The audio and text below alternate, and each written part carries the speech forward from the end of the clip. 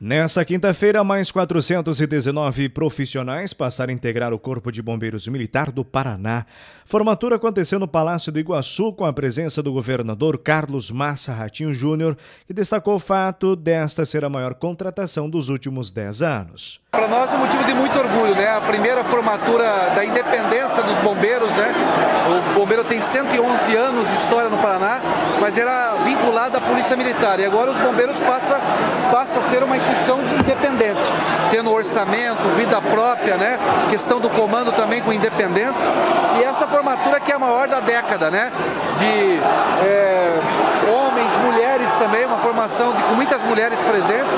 E a garantia para a população do Paraná que vai ter e vai continuar tendo né, uma, um corpo de do Brasil, reconhecido mundialmente, né, que tem um, vai ter uma corporação cada vez mais qualificada, de uma nova geração e automaticamente preparada para servir e cuidar da nossa população. No ato, o governador também realizou importantes anúncios para a área da segurança. Nós estamos fazendo uma contratação essa, a maior da década.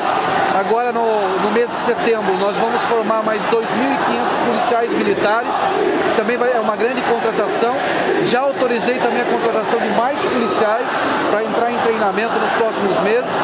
Vamos, eh, nos próximos dias, fazer a entrega de dois helicópteros que são os mais modernos da América do Sul em tecnologia que hoje é usada nos Estados Unidos. Serão os primeiros da América do Sul. Então, é, é todo o esforço da Secretaria de Segurança, dos nossos comandantes, aqui o comandante Vasco dos Bombeiros, o comandante Teixeira da Polícia Militar, secretário de Segurança, de colocar realmente a segurança pública como prioridade do nosso Estado e com muito investimento. Alta tecnologia, formação dos nossos, da nossa corporação, da PM, dos bombeiros, altamente qualificada e com muito investimento em equipamento. Viaturas novas, motocicletas novas, helicópteros novos, tudo isso para dar cada vez mais segurança para a nossa população. Coronel Vasco comemora ingresso de mais bombeiros militares na corporação. Hoje é uma data muito importante para o Corpo de Bombeiros, porque conseguimos hoje formar mais de 400 bombeiros militares que com certeza vai ampliar os serviços prestados à comunidade na área de combate a incêndio, de busca, salvamento, também para as ambulâncias do CIAT, numa maior contratação que aconteceu em 10 anos de governo. Essa atividade será em todo o Paraná.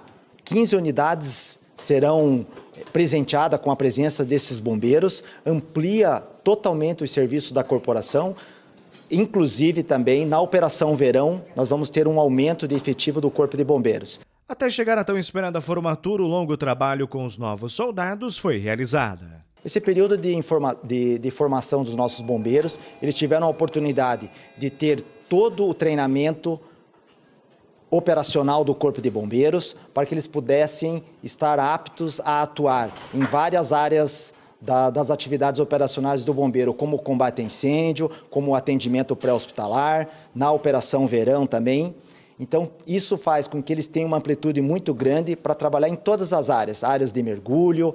São nove meses de treinamentos intenso, além, obviamente, de que as doutrinas militares que são repassadas a eles.